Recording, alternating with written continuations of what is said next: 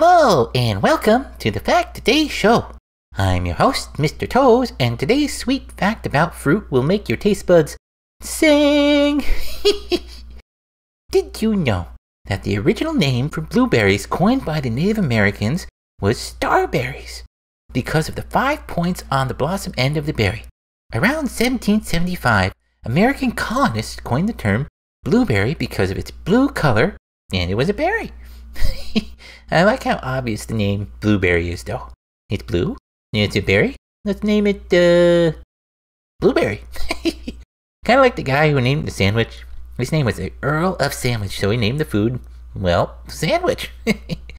I don't think I'll be naming anything after me, though. I mean, uh, just wouldn't seem very appealing to try to sell hot dogs that were called toe dogs. Ugh.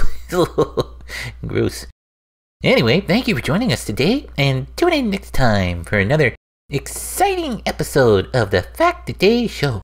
I'm your host, Mr. Toes. Have a terrific day. Yeah.